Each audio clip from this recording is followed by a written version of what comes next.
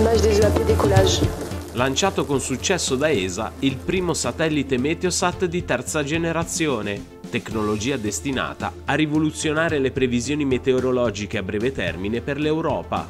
MTG-I1, l'apripista della generazione Imager 1, è decollato il 13 dicembre alle 21.30 ora italiana, a bordo di un razzo Ariane 5 dallo spazioporto europeo di Kourou, in Guyana francese.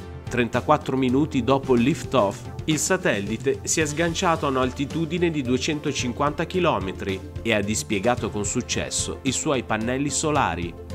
Il suo primo segnale è stato quindi inviato alla stazione di terra di Malindi, in Kenya, gestita dall'Agenzia Spaziale Italiana.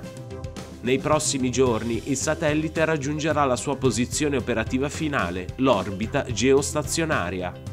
Da qui, oltre a garantire per altri due decenni continuità alle previsioni meteorologiche, fornirà osservazioni cruciali per individuare precocemente il rapido sviluppo di tempeste estreme. Tutto ciò grazie a due strumenti innovativi, Sviluppato in Italia da Leonardo, il Lightning Imager sarà il primo modello europeo di acchiappa fulmini in grado di catturare ogni singolo evento di fulmini nel cielo, sia di giorno che di notte, monitorando continuamente circa l'80% del disco terrestre. Il Flexible Combined Imager sarà invece uno scanner globale, coprendo la Terra in soli 10 minuti. Esso fornirà informazioni multibanda sia meteorologiche sia ambientali per tutto il sistema terrestre, dalle nuvole al vapore acqueo, dagli oceani fino agli incendi locali.